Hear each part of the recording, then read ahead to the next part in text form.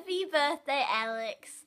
For your birthday, we decided to get you tickets to the World of Wearable Arts in Wellington because we know how much you love fashion shows.